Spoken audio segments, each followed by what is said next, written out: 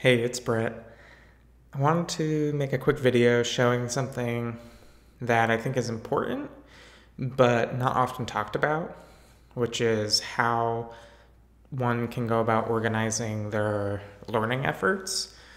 This is a system I've been using for about maybe five years or so across different skills. Um, those skills being things like programming and technical learning. I've also used it for learning about creative writing, my uh, video editing projects, different skills that I'm interested in. And I think Trello is a particularly great tool for this.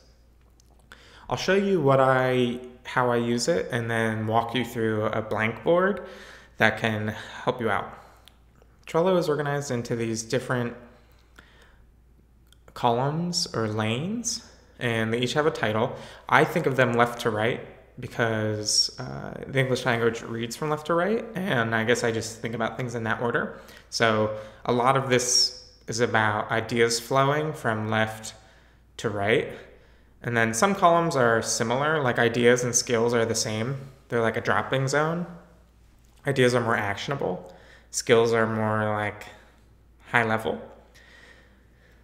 And then I have a column for up next, which are the things I would like to learn soon, which um, I usually just pick from the top and then just work through them and dedicate some time each day. And that adds up throughout the weeks, months, and years. Um, I have some labels, which I'll walk through in a second, but in progress shows what I'm currently learning, which is this concept of testing stencil JS, how to better unit test and integration test and acceptance test these web components that we've been building a lot at work. So I've been spending time on that each day, um, and I'm almost feel satisfied. It's not a super actionable thing to learn, but um, some of these are like I'll feel good about it. I'll know it when I feel good about it. Uh, others are books. So I finished reading this book called Democracy at Work recently. Uh, read through some articles. This is a while back, some of these, but um, read some other books. Uh, went through some online courses and made some test apps. Uh, and then it's neat because you have this done column. You can keep track of what you've uh, accomplished and then what you're working on. And then graveyard is where I'll put things that, like maybe ideas that didn't work or books I didn't like reading or ideas that I'm just not going to pursue.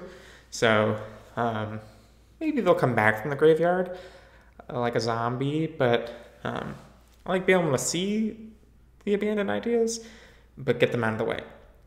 So let's let's talk through an example of how one of these would work. Um, let's say I'm interested in learning Rust. I would I added this idea. Let's see when I added it. October 2019, so a while ago let's say I'm interested in learning Rust soon, but I kind of want to go through these things first, read these books and um, go through that. Then what would happen is I would move it to in progress and I would typically add a checklist of some resources, like maybe some YouTube videos or blog posts or books, uh, courses, things I could use to learn, maybe some example apps. That would then go and I would work through those and then it would move to done. And maybe I have some things that I try to um, have as a resulting outcome. Like maybe I'll record some videos, or maybe I'll do this or that. Um, and then it moves to done. And then as people share, I share books that that they like. People share, or I come across videos or tutorials or things. I just toss them in ideas, and ideas gets kind of long. Like there's this Ruby framework called Hanami that looks interesting. Um, I put it there and then I just pull through it. And um, I think about the skills that I don't have or skills I might be interested in learning, and then I add those into the skills column. And those are like maybe less language specific. Some of it is language specific, some of it's more concepts. Uh, I also talk with teammates and um, leaders at work to try to understand what skills I can improve.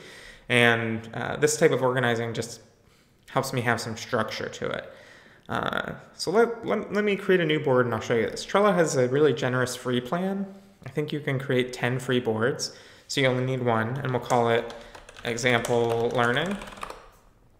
And this, you have a, you start with a, you know, clean slate. There's nothing on it. So then for this list title, I would add ideas. I would add up next, in progress, done, and then I like having the graveyard. You can also archive things if you don't want the graveyard. And then I would just go and uh, add things to it. So if you're really interested in learning Android development with Kotlin, you could do that. Um, you maybe there's a book you want to read like um, The Pragmatic Programmer. Um, you can just add these things, them when it's up next, and then start it. And then when it's done, um, you have it all there. I like this structure because it helps me be really intentional about the learning that I'm doing. And um, it's not necessarily goal based, but it's like action and concept based. So then uh, I know that if I spend a little bit of time each day or each week working on improving these skills, I just know that over time I will improve and get better and keep learning new things, which helps me become a better developer and keeps me interested in this profession and this trade. So, um, yeah, find it really valuable rather than just sort of like to have a little structure to it. And then if I'm feeling a little lost or unsure, or I know, okay, here's an hour I'm going to spend learning or reading, I just can go and check and reference back. Now, some labels that might help you are um, I would have one called like concept slash language slash framework. That's like, okay, I want to learn this new framework. I would have one that's like a book, one that's series, like an online course. Maybe I'll change that to course. Um, I would probably make one that's like project, which I love project based learning. That would be like, okay, um, you know, it'd be like meditation app, meditation timer app for Android or whatever, right? And then you would go add that label project, and that, that could be a really great facilitator. So maybe you have that to in progress, and then part of that is like, you know, you're gonna do like